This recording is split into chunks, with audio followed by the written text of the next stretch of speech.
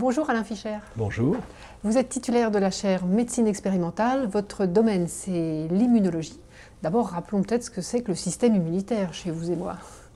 Le système immunitaire, si on emploie une métaphore militaire, c'est notre armée composée de différents types d'armes qui nous permettent euh, de vivre avec, sans trop de dommages habituellement, l'ensemble des microbes de, qui vivent autour de nous et à vrai dire dans nous. Donc ce sont des bactéries, de multiples bactéries, des virus, des parasites et des champignons. Il y a un très très grand nombre d'espèces vivantes avec lesquelles nous cohabitons et lorsque nous sommes en bonne santé, nous cohabitons bien.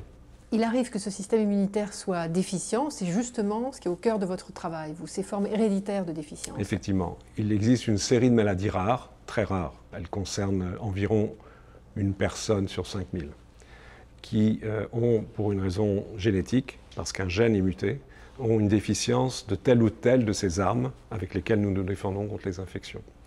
Donc, bien que rares, ces maladies sont relativement nombreuses et on continue encore d'en décrire aujourd'hui.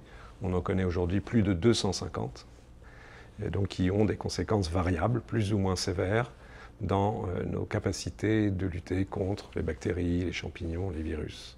Donc l'étude de ces maladies est importante à plusieurs titres importante pour les malades qui en souffrent, afin d'essayer de trouver, d'abord les diagnostiquer convenablement, et ensuite de les traiter si l'on peut. Importante aussi parce qu'elle représente autant de modèles apportés malheureusement, mais c'est ainsi par la nature, qui nous permettent de comprendre chez l'homme comment fonctionne notre système immunitaire. Parce que l'étude par défaut d'un système qui est défaillant parce que telle ou telle protéine est absente, une fois que lorsqu'on a identifié cette protéine, on peut commencer à comprendre à quoi elle sert elle sert dans une voie métabolique donnée, et à quoi elle sert en termes de moyens effecteurs de défense contre tel ou tel type d'infection, euh, de telle ou telle manière d'éviter d'avoir des maladies allergiques, des maladies inflammatoires, des maladies auto-immunes et même certains cancers, finalement, euh, des questions qui rejaillissent sur un très grand champ de la médecine. Donc ce sont des formes d'observatoires naturels euh, qui nous permettent d'étudier le système immunitaire humain. Quelle stratégie l'homme euh, ou les médecins ont mis au point pour lutter contre ces déficits Comment peut-on les, combattre? Il y a plusieurs approches.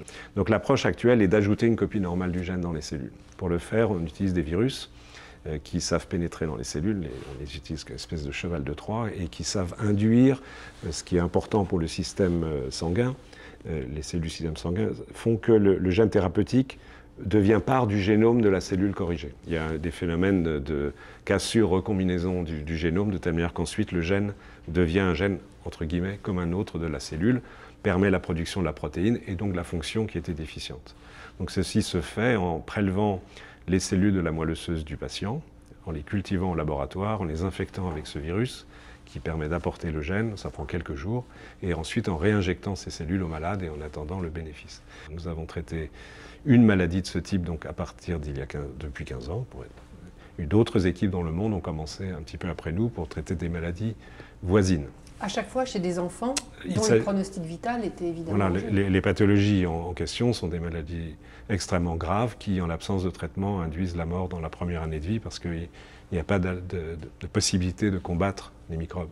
Ce que vous expliquez là illustre votre démarche, c'est-à-dire euh, toujours être au, chevet du malade ou au pied de son lit et en même temps dans le laboratoire Je pense que c'est à peu près indispensable. Ce n'est pas une approche unique et bien évidemment euh, les spécialistes de, biologie fondamentale qui font progresser les connaissances souvent par rupture, des acquisitions majeures, des, acquisitions majeures qui ont des retombées en médecine totalement imprévues, restent un élément, un pilier central de la recherche pour que la médecine se développe, ainsi que d'autres domaines.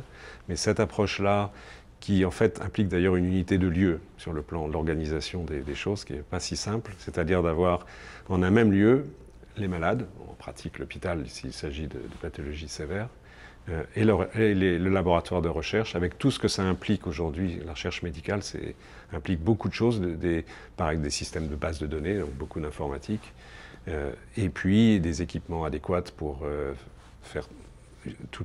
utiliser tous les domaines de la biologie nécessaires, de la génomique à l'imagerie cellulaire, etc., etc. Mais tout ceci concentré en un lieu de telle manière qu'un certain nombre de personnes puissent participer intellectuellement et physiquement euh, aux deux activités, avoir le lien le plus fort possible, que les équipes soient le plus intriquées possible, de telle manière que les questions et l'aller-retour permanent entre la, problématique médicale et l'approche biologique ou scientifique au sens large puissent s'exercer de façon efficace. Vous arrivez sur cette chaire de médecine expérimentale. Quel est votre projet d'enseignement pour ces prochaines années? J'ai décidé de m'intéresser euh, aux espèces d'analyse de l'état des lieux des connaissances fondamentales sur le système immunitaire, en partant de la question euh, est-on capable de faire un bilan de santé de notre système immunitaire? Question qui paraît simple mais qui a une complexité presque infinie. Où il faut à la fois s'intéresser à l'hôte et aux microbes avec lesquels nous vivons et qui nous apportent des informations en miroir sur nous-mêmes.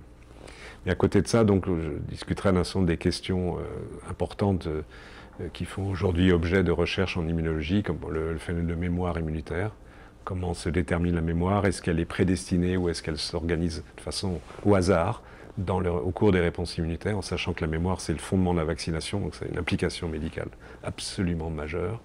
Et on discutera aussi, par exemple, de quelque chose que je trouve très intéressant et qui est susceptible de nous apprendre beaucoup sur notre système immunitaire, c'est l'évolution. Comment notre système immunitaire a évolué depuis qu'il existe. Étudier cette évolution, c'est aussi étudier les déterminants des maladies moderne du système immunitaire.